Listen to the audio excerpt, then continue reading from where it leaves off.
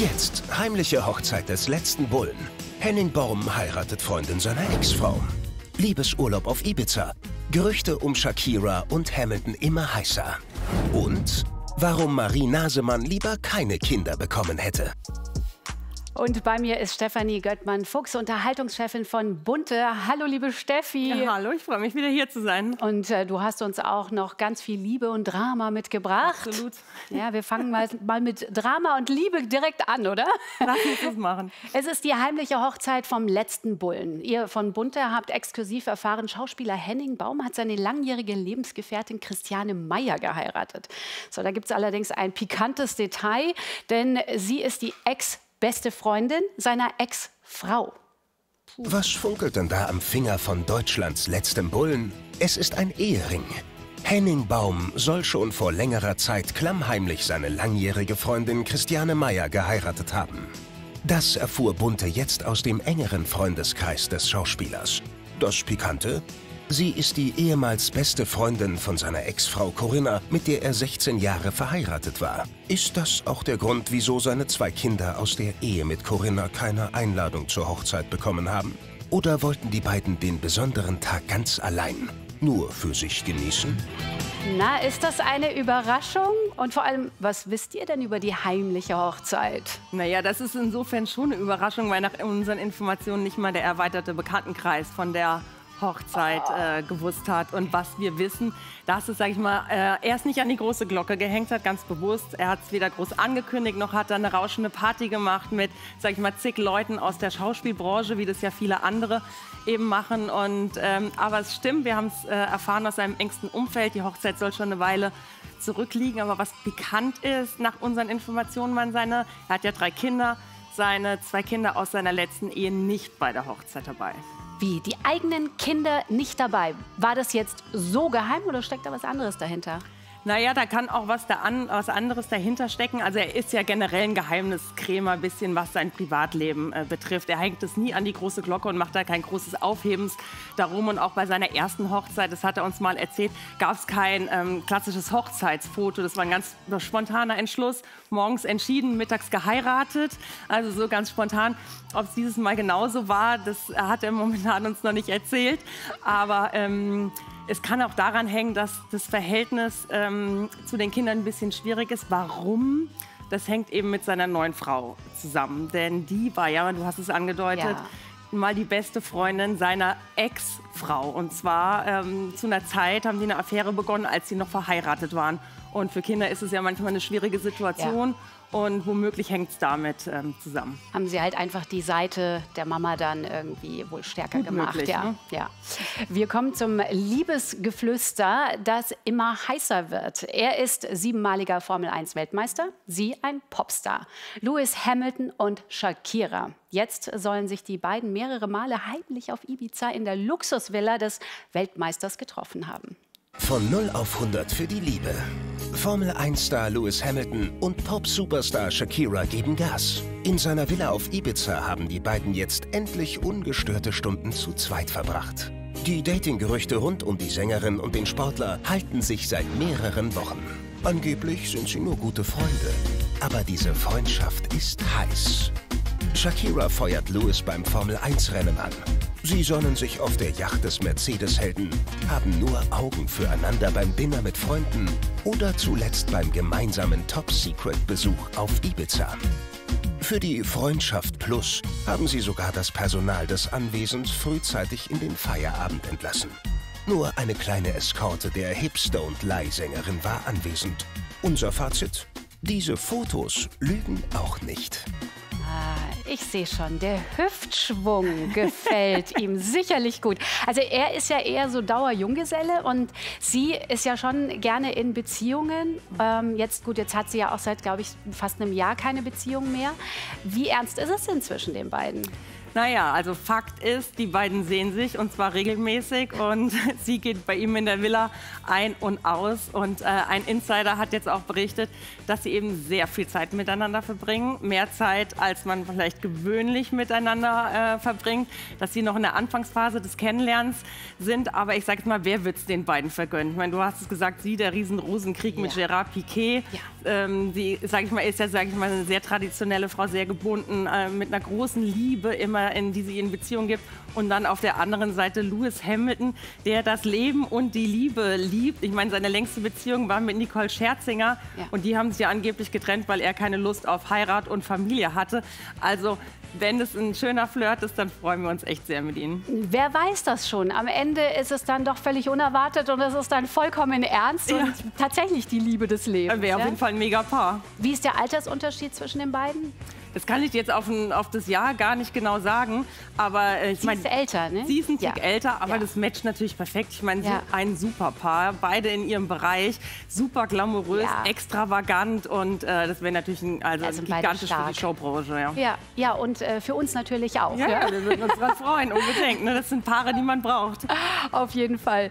Von der großen neuen Liebe zu einer etwas anderen Liebe. Die Liebe zu seinen Kindern. Nach der Trennung zwischen Giselle Bündchen und Tom Brady hat Papa Tom eine Afrika-Safari mit seinen Kindern gemacht. Steffi, ähm, wir haben dazu Bilder, glaube ich. Da haben wir es. Was macht, was macht das so besonders? Naja, zuletzt hat Tom Brady ja mit Schlagzeilen um eine neue Liebe auf sich aufmerksam gemacht. Wir erinnern uns, vor kurzem gab es Turtelfotos mit Supermodel Irina Scheik, also eine Nachfolgerin sozusagen von Giselle Bündchen. Und jetzt hat er letzte Woche Geburtstag gefeiert. Er ist 45 geworden und hat die Zeit danach auf Safari verbracht. Und wen hat er mitgenommen? Ja. Seine, seine Kinder. Kinder. Seine zehnjährige Tochter Vivian war dabei, sein 16-jähriger Sohn Jake aus seiner früheren Beziehung. Und er hat auf Instagram jetzt ein sehr langes, sehr emotionales Statement abgesetzt, eine richtige Liebeserklärung oh. an das Leben und auch, sage ich mal, an das, was wirklich zählt im Leben, nämlich seine Familie.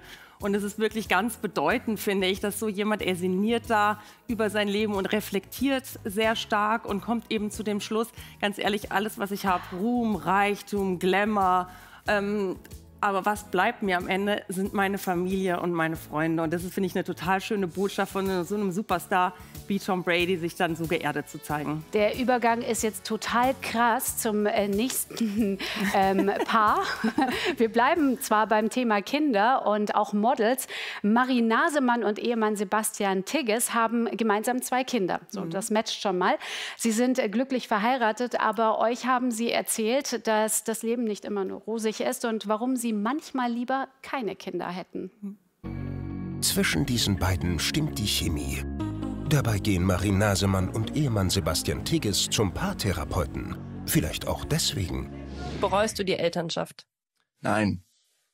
Manchmal. Ja. Ja. Ja, manchmal ja.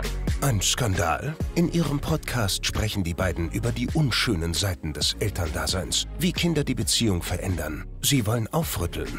Es ist einfach gesellschaftlich so, dass Frauen, die keine Mütter sind, immer noch irgendwie als äh, mangelhafte Frauen wahrgenommen werden. Und das ist einfach, einfach bescheuert.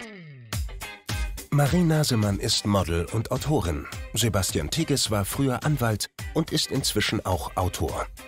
Im April 2020 werden sie Eltern eines Sohnes. Ein Jahr später folgt ihre Tochter. Zwei Kinder im Abstand von nur 18 Monaten. Nicht immer leicht.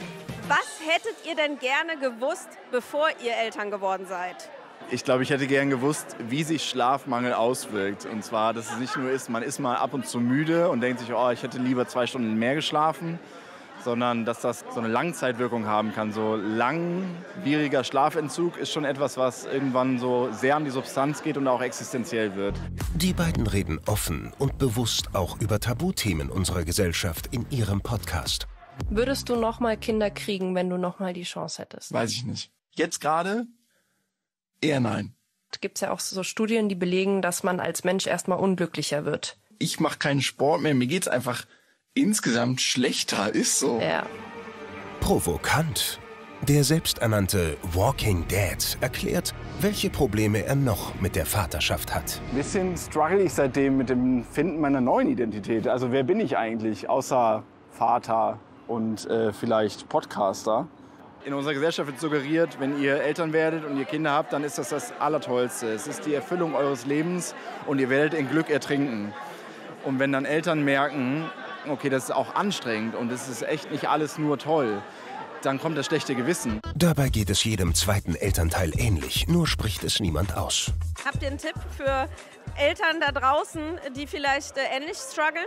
Ich rate immer dazu, dass man halt immer wieder guckt, dass man halt diese Zeit zu zweit hat, in der man eben auch mal bewusst nicht über Kinder oder organisatorische spricht und zu zweit auch was Tolles zu erleben, mal ein Erlebnis zu haben außerhalb von Familienerlebnissen oder beruflichen Erlebnissen ist für uns auch total wichtig.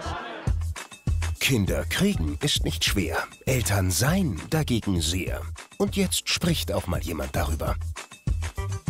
Ist doch eine sehr polarisierende Absolut. Meinung. Wie, wie siehst du das Ganze? Nee, das ist, wie du sagst, total kontrovers natürlich, ne? wenn man sowas, sowas sagt. Ich persönlich halte jedes Kind für ein Geschenk. Ich habe selber drei Kinder und ich glaube, jede Mutter weiß, Kinder können eine echte Belastungsprobe für ein Nervenkostüm sein. Aber für mich das größte Geschenk und ich glaube, dass sie auch äh, mal, sehr viel Spaß auch mit ihren Kindern verbringen, die beiden. Mit Sicherheit. Ich würde meine auch niemals austauschen. Nein, ich glaube auch, was, es ist viel Gutes daran, an dem, was sie sagt natürlich, aber es ist natürlich sehr hart äh, Es ist gesagt. sehr hart und sage ich mal, ich glaube so gem- allgemein sieht sie, die, dass es so ein gesellschaftliches Vorurteil ist, man muss Kinder lieben und immer glücklich sein. Genau. Das sehe ich jetzt auch nicht so. Also Ja. Kinder haben schon ihr Leben, also seitdem Ja. es Kinder gibt, also seit immer sind sie, sage ich mal, eine Herausforderung und das weiß, weiß glaube ich, jede Mutter erzählt Ja. oder jede Großmutter erzählt, wie schwierig mal das eigene Kind war. Absolut. Ja, und jetzt kommen wir zu, ähm, ja, zu einer Person, die wohl alle ihre Grammys und ihren Oscar hergeben würde, wieder gesund zu werden. Aber derzeit kann Celine Dion niemand helfen. Die Sängerin leidet an einer seltenen und immer weiter fortschreitenden Krankheit. Celine Dion. Sie gilt als Wunder an Disziplin und Härte gegen sich selbst. Doch nun scheint die weltberühmte Sängerin den Kampf gegen ihre schwere Krankheit fast verloren zu haben. Die Titanic-Sängerin leidet an dem seltenen Stiff-Person-Syndrom. Die aggressive Krankheit verkrampft ihre Muskeln, lähmt ihre Gliedmaßen und schwächt ihre unverkennbare Stimme.